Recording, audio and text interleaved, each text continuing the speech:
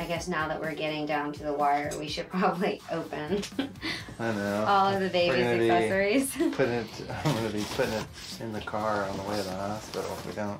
We are gonna have a new grandbaby very soon. I've always said it gets easier after four. This is coming from the man who is out doing trees every day. so many things to put together.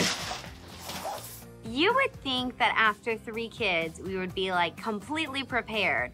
But for some reason, setting up a baby swing this time around in a car seat was more complicated than it looked. Should we try to do it without directions first?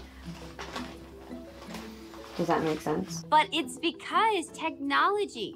People keep coming out with cooler and more creative and innovative ideas. So it's hard to keep up. For full episodes, scenes, and exclusive videos of Bringing Up Bates, go to uptv.com slash Bates.